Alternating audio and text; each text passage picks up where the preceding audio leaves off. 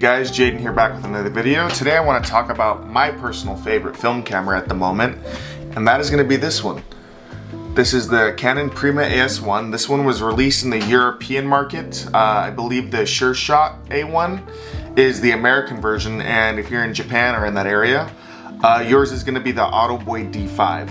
Now there's a couple versions. Uh, mine's the one that is waterproof, as you can see by the fish on the front right here, right here on the dial. And my version also doesn't have the little like date back, which I like that better because let's be real, none of these cameras are gonna be up to date to 2023 anyways. Hello you guys, Editing Jaden here. Um, I'm gonna link below an article that I was reading when I was doing research on buying this camera. Uh, it's called Matt Loves Cameras. Amazing article, gives you all the technical specs, years, dates, f-stops, everything that you're gonna need to know technical wise about the camera and his ideas. Gonna drop that below, like I said, and you guys go show it some love, read it. It's an amazing read. Uh, very informative too. Let's go ahead and jump into a couple cons. Um, some of it could be my model, but then the other comment is gonna be about every type of electronic point and shoot. So let's go ahead and get the first one out of the way. This camera one day will die on you and it'll be too expensive to fix. You're better off buying a whole new one. That is the way it is with all electronic point and shoots, even the very expensive Contax T2s, the Nikon 35 Ti's, that cool titanium one with the little dials on top. Eventually all these cameras will brick and die and they'll just be a very fancy paperweight. But this one, since it goes from about 80 to $120, you're not out a whole lot of money. If anything, you'd be more bummed that you're out the memories that this thing had in it. Now with that being said, this did die on me once because I was using it in heavy water usage, which brings me to another reason. Um, your seals might not be as good because this camera was started in 1994 and I'm not quite 100% sure on the ending of manufacturer dates. Now a couple things to look out for the camera is since these are waterproof cameras, make sure the seals are good. Um, a good telltale sign is the little screws on the inside right here, here, and then a couple other places like here and here. These will be rusted. Mine came rusted. If you're gonna be buying one, take a look at that. Ask the seller on eBay or wherever to look inside the camera. Um, if any of those are rusted, that means you probably did have a moisture leak of some kind. Mine did, and actually mine died for a little bit. Uh, I took it to a water park and it just up and died. Now, the water and moisture did end up inside the camera. You can still kind of see like a little bit of spots right there. Um, but if you don't want that to happen to you, then don't fully submerge this in water. I have no doubts that this thing could make it through rain or anything like that, or even just a couple splashes here and there. Another thing about this camera is that the little latch door right here can fail.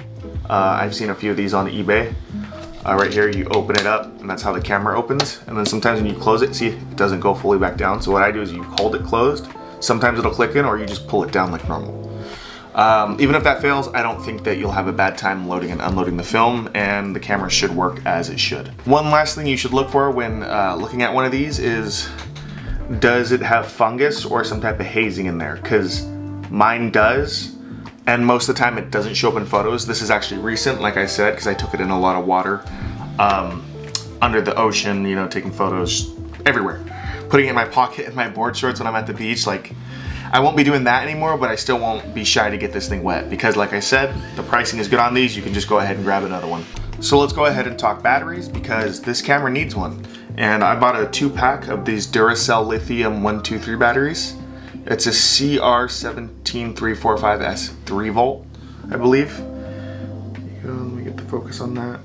I bought it in a two pack off Amazon. I've shot a total of nine rolls through this camera so far. And I haven't needed a battery yet, but when that day does come, I have another one on deck ready to go, so you should be good. And it's just inserted at the bottom right here. You take a like a quarter or whatever, you turn it, it pops open, you push the battery in, close it back up. That's it. So on the top here of the camera, you have your shutter button, your timer, which mine never worked as is ever, and then your shot counter. It starts on S and then obviously goes all the way up to 31. And then when you're through all your shots, the camera will unwind itself and you can just pop it back open. One more thing I forgot to mention, now this could be just my model. Um, sometimes when I put a roll in and I pull the leader over, right?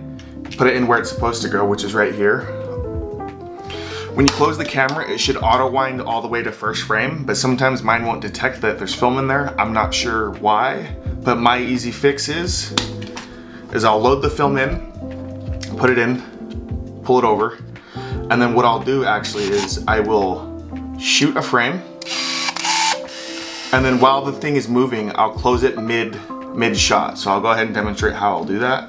So I'll do this, put, put the thing in, get her over, hold it like this. And then when it goes to wind, it'll wind to the first frame and it's been loaded. As far as the settings on the dial, you have the off mode, which is right here. You have your auto mode, so it'll dictate if you need a flash or don't need a flash. You have your underwater mode, which it'll close focus and it's pretty much usually a flash.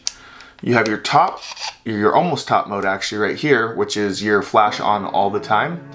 And then my favorite one, if you're shooting street, all the way flash off all the time. So you don't take a photo of something, someone thinks something's weird and then you get jumped. Again, with this camera being basically water resistant, um, it, you get that red ring. So if you can't, haven't had the chance to have a luxury lens from Canon, uh, you do now technically. And this camera is more than a tenth cheaper than any of the other fancy point and shoots. And in my opinion, it blows those out of the water because if this thing dies, you're out 80 to $120.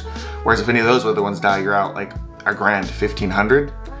And the thing about this camera is you can shoot street with this and no one looks at you funny. No one thinks anything of this camera. You could pull it out in restaurants, basically just damn near anywhere and no one's gonna care. But that's enough of me talking about the camera. Uh, I'm going to display probably almost 150 photos for you that I've taken with my current favorite camera as far as film goes. Uh, you enjoy the photos and uh, let me know what you think in the comments below. Thank you guys for watching and I'll see you in the next one.